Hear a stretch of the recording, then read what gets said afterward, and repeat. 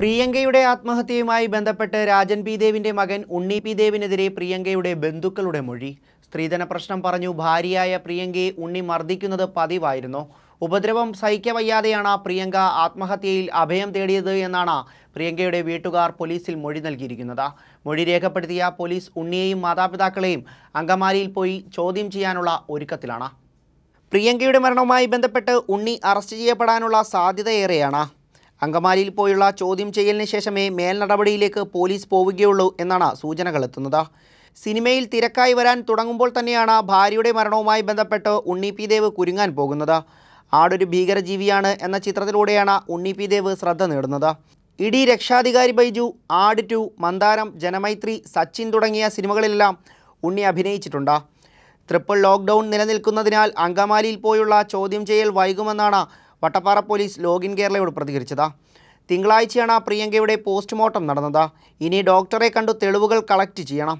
ഇതെല്ലാം വിശകലനം ചെയ്ത ശേഷം ഉണ്ണിയെ ചോദ്യം ചെയ്യാൻ അങ്കമാലിക്കും പോകും.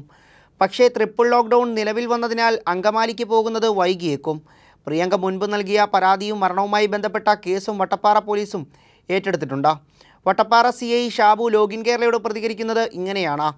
പ്രിയങ്ക ആത്മഹത്യ ചെയ്യും മുമ്പ് ഉണ്ണിയുടെ പരസ്ത്രീ ബന്ധവും ഉണ്ണിയുടെ പീഡനവും ചൂണ്ടിക്കാട്ടി വട്ടപ്പാറ പോലീസിൽ പരാതിയും നൽകിയിരുന്നു. ഈ പരാതി വട്ടപ്പാറ പോലീസ് അങ്കമാലി പോലീസിന് അയച്ചു നൽകുകയും ചെയ്തു. പരാതി കിട്ടി അങ്കമാലി പോലീസ് അന്വേഷണം തുടങ്ങിയപ്പോഴേക്കും പ്രിയങ്ക ആത്മഹത്യ ചെയ്തു എന്നാണ് മറുപടി ലഭിച്ചത്.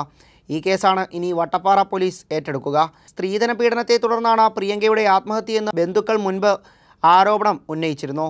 മർദ്ദനത്തിന്റെ പാടുകൾ ചൂണ്ടിക്കാട്ടിയുള്ള വീഡിയോ പുറത്തുവിടുകയും ചെയ്തിരുന്നു. ഉണ്ണി പി ദേവിന്റെ പേരിൽ പരസ്ത്രീ ബന്ധവും പീഡനവും ആരോപിച്ച് പ്രിയങ്ക വട്ടപ്പാറ പോലീസിൽ പരാതി നൽകിയിരിക്കുന്നത്. ഉണ്ണിയുടെ പരസ്ത്രീ ബന്ധത്തിന്റെ പേരിൽ പ്രിയങ്കയും ഉണ്ണിയും തമ്മിൽ വഴക്കുമിട്ടിരുന്നു പരസ്ത്രീ ബന്ധം ഭാര്യ ചോദ്യം ചെയ്തത് ഉണ്ണിക്ക് പിടിച്ചിരുന്നില്ല. ഇതിന്റെ പേരിലായിരുന്നു മർദ്ദനങ്ങൾ പതിവായത്. രണ്ടു വർഷം മുമ്പ് ആരംഭിച്ച ഇവരുടെ വിവാഹബന്ധം അസ്വാരസ്യം നിറഞ്ഞതായിരുന്നു. ശ്രീധരത്തിന്റെ പേരിലും ഉണ്ണി മർദ്ദനം തുടർന്നിരുന്നു. ഭർത്താവുമായി വഴക്കിട്ട ശേഷം പ്രിയങ്ക പൊടുന്നനെ തിരുവനന്തപുരത്തെ വെമ്പായത്തുള്ള വീട്ടിലേക്ക് തിരിച്ചു പോവുകയായിരുന്നു. പരാതി നൽകേണ്ടിയിരുന്നത് അങ്കമാലി സ്റ്റേഷനിൽ ആയിരുന്നു. അങ്കമാലി സ്റ്റേഷൻ പരിധിയിൽപ്പെട്ട കറുകുറ്റിയിലാണ് ഉണ്ണി ദേവിന്റെ വീട്. ഈ വീട്ടിൽ നിന്നാണ് പ്രിയങ്ക ദിവസങ്ങൾക്ക് മുമ്പ് ഇറങ്ങിപ്പോയതും. തങ്ങളുടെ സ്റ്റേഷൻ പരിധിയിൽ നടന്ന സംഭവത്തിൽ ഒരു പരാതിയും ലഭിച്ചിട്ടില്ലെന്നാണ് പോലീസ് പ്രതികരിക്കുന്നത്. വട്ടപ്പാറ പോലീസിൽ നിന്ന് അയച്ചു കിട്ടിയ പരാതിയിൽ അന്വേഷണം തുടങ്ങുമ്പോൾ പ്രിയങ്കയുടെ ആത്മഹത്യാ വിവരമാണ് അങ്കമാലി പോലീസിന് ലഭിച്ചത്. അസ്വാഭാവിക മരണത്തിനാണ് വട്ടപ്പാറ പോലീസ് കേസെടുത്തിരിക്കുന്നത്. കഴിഞ്ഞ ബുധനാഴ്ചയാണ് വെമ്പായത്തെ വീട്ടിനുള്ളിൽ തൂങ്ങി മരിച്ച നിലയിൽ പ്രിയങ്കയെ കണ്ടെത്തിയത്.